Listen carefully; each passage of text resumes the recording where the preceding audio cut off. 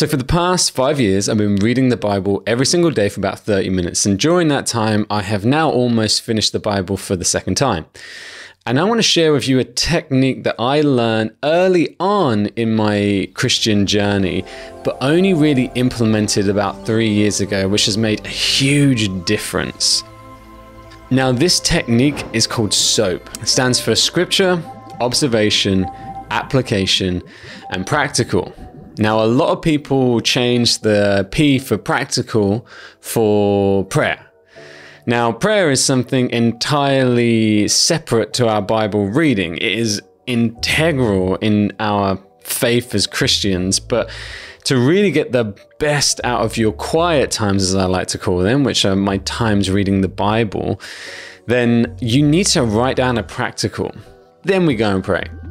Now, why do we need a study method when we read our Bibles in the morning? We need a study method because of what the Bible says in James chapter 1.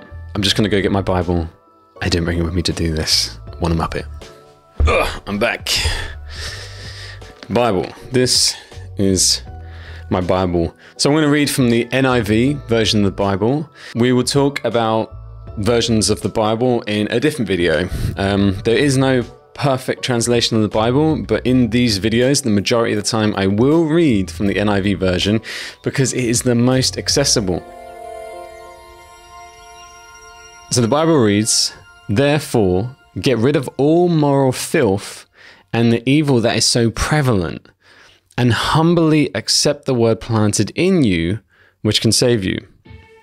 So, if you can relate with what I was saying in terms of, you know, reading the Bible in the morning and then leaving and forgetting what you've been reading and specifically how it applies to you and what practical you're going to do that day and just remembering the scriptures as a whole, then did you really have the word planted in you like the scriptures saying we need to do to make sure that we can be saved? Because how can we become unsaved is because of the moral filth that is so prevalent in the world around us. If we are not having the word of God planted in us, you can easily fall into that life and forget about God. So, what do we need to do? How do we overcome this? Well, good for us, the scripture carries on.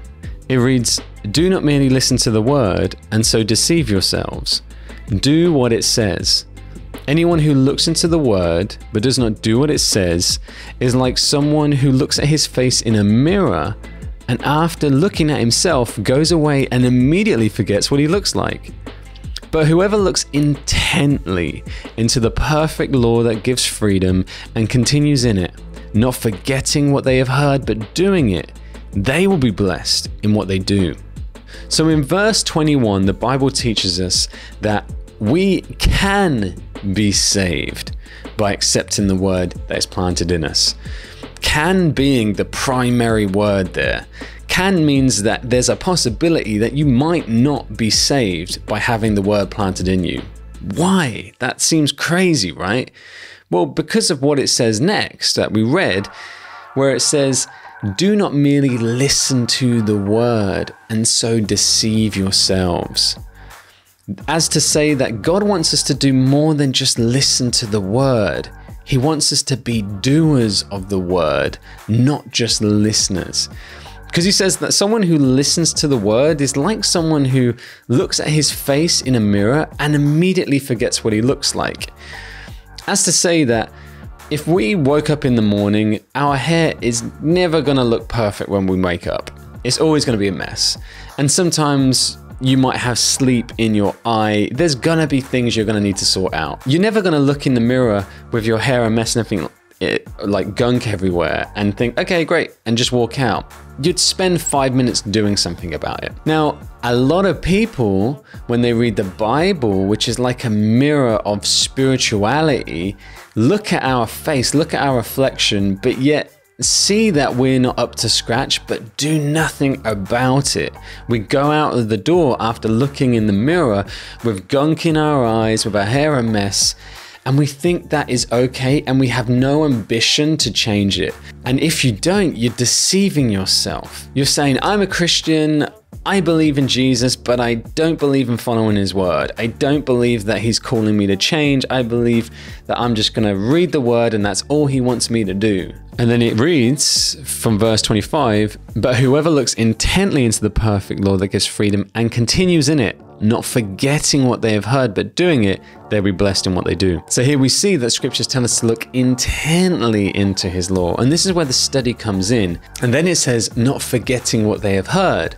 So here again, you see the importance of a study method because study methods can help you to learn and memorize what you are reading and then doing it. And then that person will be blessed in what they do. And that's what we want. We want blessed days. If you look at the original meaning of this word, it means happy. So, getting into the meat and potatoes of this soap, scripture, observation, application, and practical. First, there is scripture.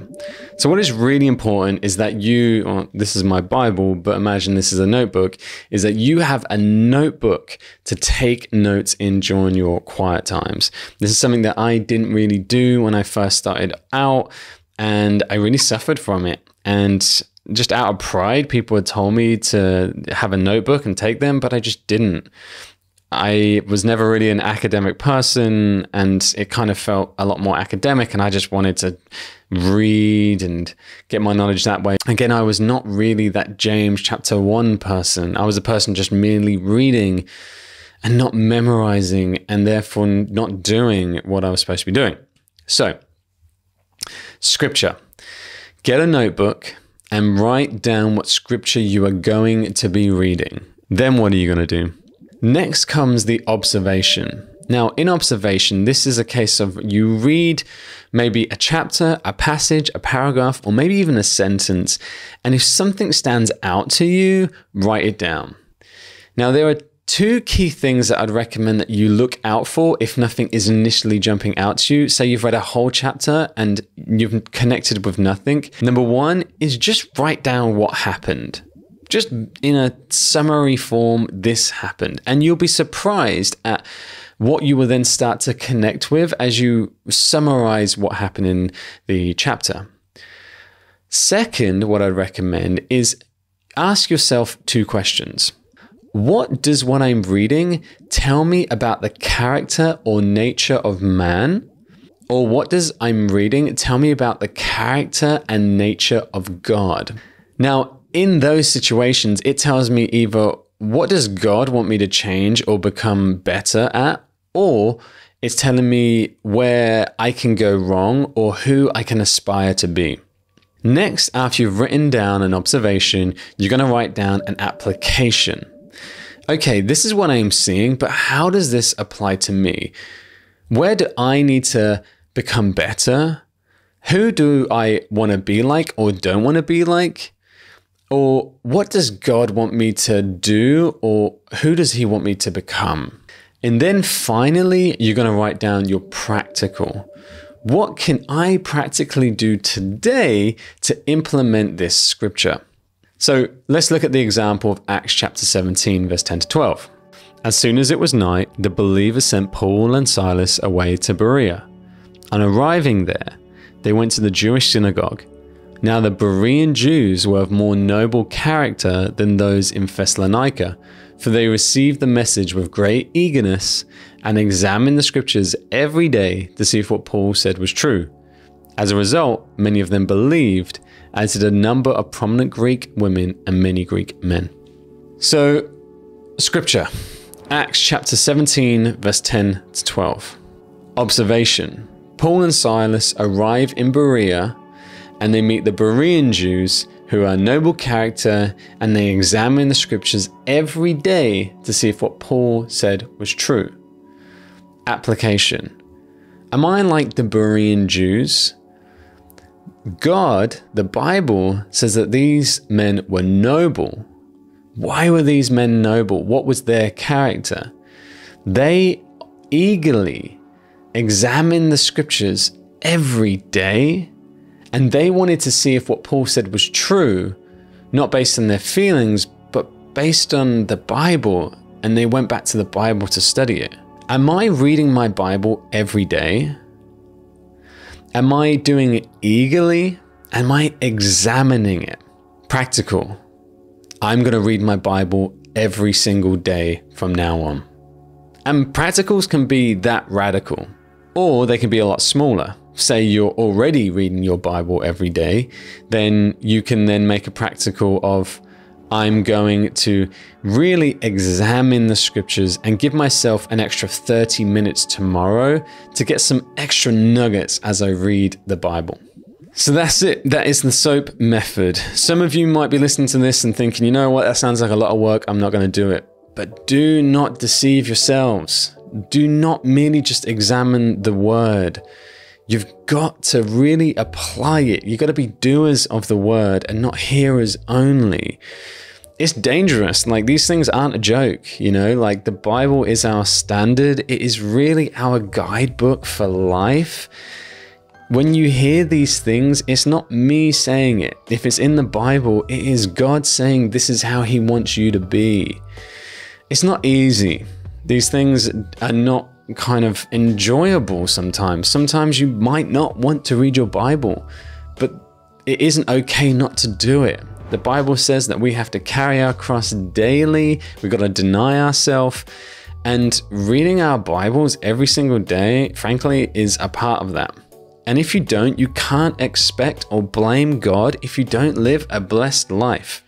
You can't expect God to really, you know, encourage you in your life if you are not learning the Bible if you're not memorizing it, if you're not putting on your on your heart, there are so many scriptures that you can study out, perhaps for your quiet times, which will really enforce what I'm sharing here. But yes, I hope this has been helpful. This method has transformed my faith and my relationship with God, and I hope it does the same for you as well.